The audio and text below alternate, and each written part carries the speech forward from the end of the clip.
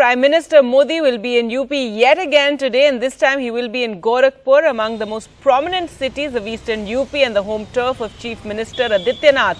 In Gorakhpur, the Prime Minister will take part in the reopening ceremony of the city's fertilizer factory that was shut for close to three decades.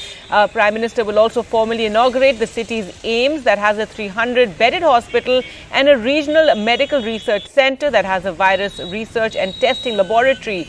Uh, there you can see uh, the posters are and banners are up for the Prime Minister's visit. The government says the three projects together cost 10,000 crores and from full-page ads in all newspapers have announced the Prime Minister's visit. Uh, Purvanchal or Eastern UP is a crucial region for the BJP with the state elections just two months away. The party won a majority of the region's 150 plus seats in 2017 polls, but this time Akhilesh Yadav of the Samajwadi Party, the BJP's main challenger, has stitched together a rainbow coalition including many eastern UP allies.